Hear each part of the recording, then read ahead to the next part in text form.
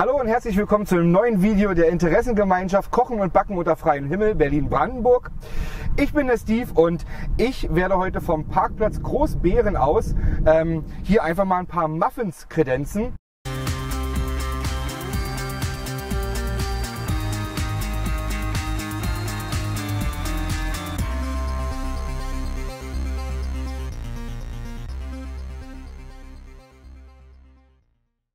Nein, war natürlich Quatsch. Ähm, wir sind von der Interessengemeinschaft Elektromobilität Berlin-Brandenburg und ich zeige euch mal das Besondere daran, warum wir hier im Freien einfach mal kochen und backen können. Ich mache mal einen kleinen Schwenk mit der Kamera, dann seht ihr das auch. Wir haben hier einen kleinen Ofen, einen Mixer und einen Grill und sowas alles unter anderem aufgebaut und diese alle, diese ganzen Geräte sind alle angeschlossen an einer Ladesäule die zu unserem ähm, Gunsten natürlich ähm, pauschal abrechnet, was wir auch ähm, entrichten. Das heißt also, wir zahlen auch für den Strom, keine Angst, wir begehen hier keine Stromschneuerei. Aber zurück zum Thema. Unser Thema heute ist, wie mache ich Muffins an einer Ladesäule? Das ist relativ einfach. Ich habe hier schon mal was vorbereitet, wie man das so aus dem TV-Kochen kennt. Ne? Habe hier schon mal ein bisschen Backpulver und Mehl. Das Rezept ich, schreibe ich gerne unten in die Infobox rein. So, das machen wir hier rein. Das brauchen wir nicht mehr. So, dann kommt noch ein Ei dazu. Der Profi kann es mit einer Hand. Ella Badge. So, brauchen wir auch nicht mehr. Und noch etwas Öl. Und Wasser. Und ich werde es gleich gerne noch mal zeigen. Ja, der Mixer läuft jetzt, läuft jetzt an der Ladesäule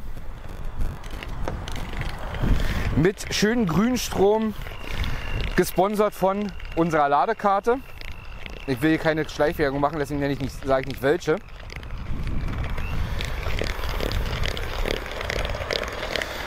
So, bräuchte eigentlich noch eine Hand, aber die stehen alle hinter der Kamera.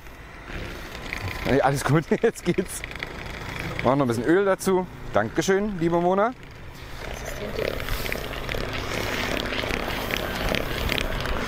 So, ihr seht, wunderbar, schön schöner Teig, direkt fertig.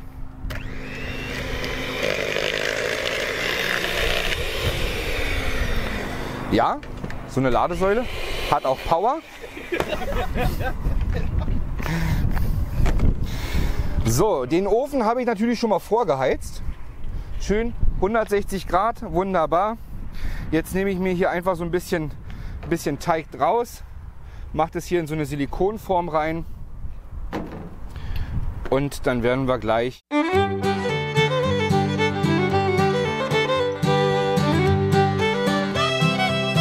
Hatte jetzt leider keine Muffinform, deswegen ähm, gibt es eine bisschen länglichere Form, aber das ist auch in Ordnung.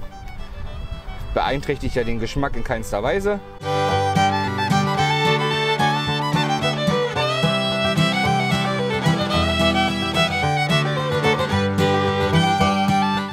Auslecken ich.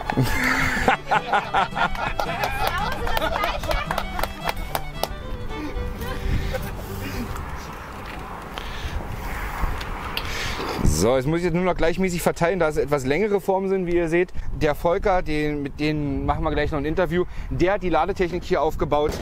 Der ist ähm, Elektroingenieur der weiß auch, was er macht. So, wie beim TV-Kochen machen wir das jetzt. Die sind jetzt im Ofen, 160 Grad, etwa 10, 15 Minuten. Wir spulen hier mal vor. So, und warum machen wir das jetzt ausgerechnet an dieser Ladesäule? Naja, der Hintergrund ist relativ einfach.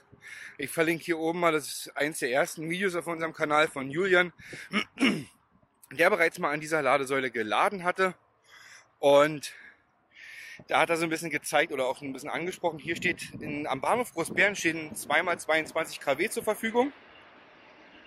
Jetzt wird ein Zug vorbei, könnte ein bisschen laut werden, aber es ist halt ein Park-and-Ride-Parkplatz irgendwo im Nirgendwo. Und wünschenswert wären hier noch 10 oder 20 Anschlüsse, A 3,5 kW oder 3,6 kW oder was es ist, ähm, die man hier ranbekommen könnte, dann müsste man den Ladeplatz oder die Ladeplätze nicht extra ausschildern und dann könnten hier quasi Pendler auch sinnvoll laden. Denn mit 22 kW ist halt die Frage, ne? hänge ich eine Zoe ran, ist die in ein bis zwei Stunden voll? Hänge ich irgendein anderes Fahrzeug dran, kann er die 22 kW halt nicht wirklich ausnutzen. Eine 22 kW Säule macht schon Sinn, ist aber leider traurig, wenn sie halt irgendwo im Nirgendwo steht. Und wenn, ich verlinke mal den Eintrag dieser Ladesäule von Going Electric und wenn unter Ladeweile schon steht, nichts außer Bahnhof, ihr seht so ein bisschen drumherum, hier ist halt wirklich nichts. Ne? Und ich zeige es auch gerne von hier unten nochmal. Ich drehe mal die Kamera. Da vorne stehen wir. Und ihr seht, es ist wirklich nur ein Park-and-Ride-Parkplatz. Also hier gibt es nicht mal einen Imbiss oder irgendetwas, sondern hier hinten geht es über so einen Schlängelweg dann rüber zum Bahnhof. Ähm, das, äh, da sind halt, oder da sind die hohen Kosten für 2x22 kW sicherlich ein bisschen fehlgeleitet. Wir wollen ja nicht meckern. Jeder Ladepunkt ist super, ne?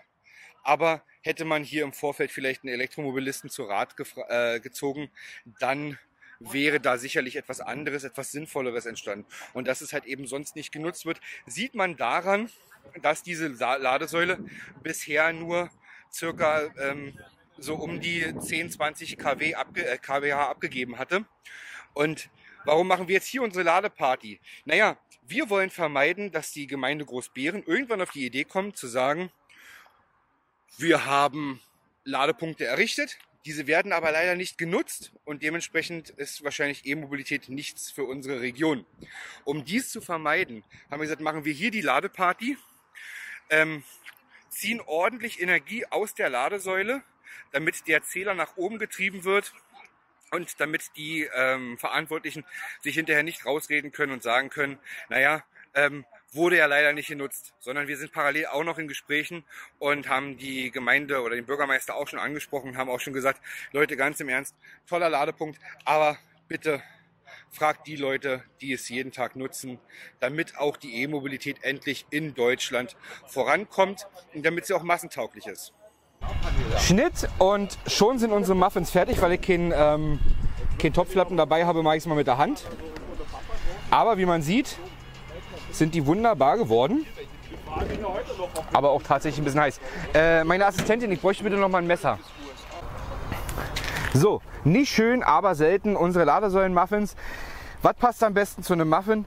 Richtig, ein Kaffee. Und deswegen hat der Volker ja auch in seinem Kofferraum eine Kaffeemaschine.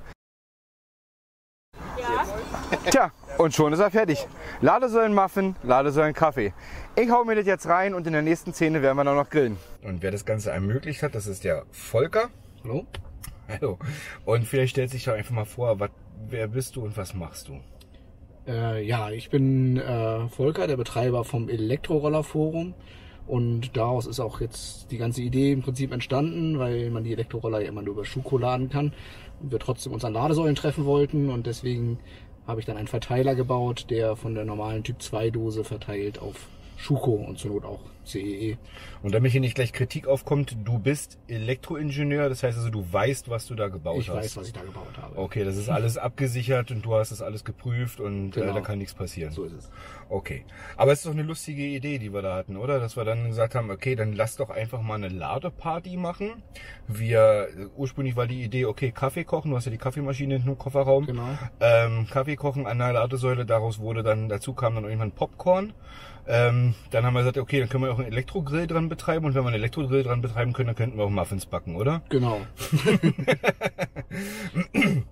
Aber erzähl doch mal ein bisschen, was, was ist denn das, also was macht denn dieser, dieser Verteiler da jetzt eigentlich? Also was passiert da? Ja, also im Prinzip ist es äh, wie ein Hausanschluss, so eine Ladesäule, äh, mit halber Leistung, äh, wirklich mit einem Hausanschluss.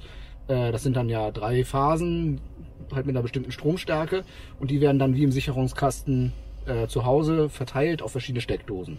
Viel mehr ist es nicht. Äh, ein bisschen Kommunikation mit der Ladesäule muss noch stattfinden am Anfang, damit die Ladesäule gesagt kriegt, hier steht ein Auto und das Auto ist bereit zum Laden und dann schaltet die Ladesäule den Strom frei und den kann man nutzen. Das hast du sozusagen, diese Kommunikation hast du sozusagen mit der Box äh, simuliert? Genau. Sozusagen. Die tut so, als wäre es ein Auto. Okay. In meiner Weltanschauung ist das im Prinzip nichts anderes, was wir hier machen, als man ab nächstes Jahr theoretisch mit einem Sion auch machen könnte. Richtig, Richtig? genau. Den steckt man in Ladesäule ein, der hat seinen, der hat seinen Schuko-Ausgang, da könnte ich auch einen Elektrogrill dranhängen und ähm, könnte alles betreiben. Es ist halt nicht direkt mit dem Auto verbunden, die liegt einfach nur im, im Kofferraum drin, richtig? So ist es. Die würde auch so funktionieren. Die würde auch so funktionieren. Wann, wann können wir mit der Serienreife dieses Produkts rechnen und einem Online-Shop? Ah, das dauert noch ein bisschen. Also jetzt äh, kommt erstmal noch ein bisschen Technik rein, die äh, die äh, momentane Leistung überwacht ähm, auf, auf jeder Phase. Dass es dann nicht mehr ähm, äh, quasi manuell machen muss? Genau. Sozusagen. Hm? Genau, dann, dann kann er automatisch entscheiden, äh, welche Phase wie stark belastet wird mhm. und äh, das verteilen. Also ist noch nicht nötig bei dem bisschen, was wir immer ziehen. Aber wenn wir irgendwann mal vorstellen, wir sind da mit 50 E-Rollern oder so, dann also dürfen wir dich, dürfen wir dich bei der Weiterentwicklung dieser Box noch ein bisschen begleiten gerne. und dürfen darüber gerne berichten. Gerne. Super. Dann danke ich dir auf jeden Fall fürs äh, kurze Gespräch. Wir werden uns jetzt einen Smoothie machen und dann noch grillen und ja, genießt einfach den Ausblick, äh, den Anblick. Was ist das Besondere am Ladesäulen-Smoothie? Gar nichts. Du nimmst einfach, machst einfach nur einen Smoothie und hängst das Wort Ladesäule vorne dran. So, dann wollen wir doch mal sehen, was wir jetzt gerade aktuell ziehen. Mal gucken, ob wir uns auf der Säule erkennen können. 6 kW ziehen wir gerade, das ist ja Na? sehr human. 6 kW ziehen wir bloß? Naja, ist ja wirklich sehr human. Dafür, dass jetzt gerade. Nee, der Nio ist abgesteckt, ne? Wir haben jetzt gerade den Backofen für die, für, fürs äh, Knoblauchbrot dran. Wir haben Würstchen auf dem Grill. Äh, denn der Leaf ist auch noch dran? Der ist dran, der ist aber vollgeladen, da läuft nur noch die Klimaanlage drüber. Achso, da läuft nur noch die Klimaanlage drüber. Ja. Die Kühlbox. Relativ spartanisch, aber für den ersten Versuch reicht's. Wir ziehen uns jetzt gleich äh, noch ein paar Bratwürstchen rein. In diesem Sinne, vielen Dank fürs Zuschauen. Abonniert gerne den Kanal, hier kommt noch mehr. Nicht nur so ein Klamauk-Videos, aber wir wollten einfach nur mal zeigen, was alles möglich ist. Denn die Frage wäre ja, wann hat man zuletzt mal eine Grillparty an der Tanke gefeiert? Richtig. Sollte man vielleicht auch unterlassen. Ja, ist vielleicht nicht ganz so gesund. Und ähm, naja, wir zeigen damit, was möglich ist. Wir nutzen damit die örtliche Ladeinfrastruktur und wir haben ein bisschen Spaß. Ne? Definitiv. In diesem Sinne, bis zum nächsten Mal. Ciao. Ciao.